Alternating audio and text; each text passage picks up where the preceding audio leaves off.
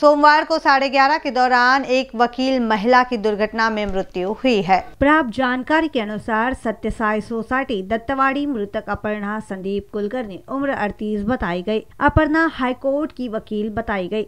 वह सुबह अपनी एक्टिवा क्रमांक एम एच चालीस यू बीस छह से कंट्रोल वाड़ी से अपने निजी काम से आई थी। नागपुर से जलगांव की ओर जा रही बोलेरो क्रमांक एम एच तीस ए बी शून्य आठ बत्तीस ने अपर्णा को कंट्रोल वाड़ी में गुप्ता के बिल्डिंग के सामने जोरदार धड़क मारी। अपर्णा की एक्टिवा गिरकर बोलेरो की चपेट में आते ही अपर्णा के सर पर चोट लगी। उसे तुरंत वाड़ी के निजी अस्पताल में उपचार के लिए ले जाया गया। उपचार के दौरान अपर्णा की मृत्यु हुई। आरोपी चालक अभय युवराज सुरवाड़े, उम्र छत्तीस, को गाड़ी के साथ गिरफ़्तार किया गया। अपर्णा के पति स्कीन के डॉक्टर है, जो रायपुर में है। वाड़ी में अवैध पार्किंग होने से यातायात को परेशानियों का सामना उठाना पड़ रहा है। ऐसे में दुर्घटनाओं की संख्या बढ़ रही है।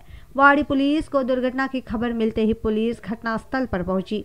आरोपी चालक अजय सुरवाड़े के खिलाफ धारा दो सौ उन्सी तीन सौ चार ए के तहत मामला दर्ज किया गया है। आगे की कार्रवाई वाड़ी पुलिस कर रही है। बीसीएन न्यूज़ के लिए वाड़ी से सौरभ पाटिल की रिपोर्ट।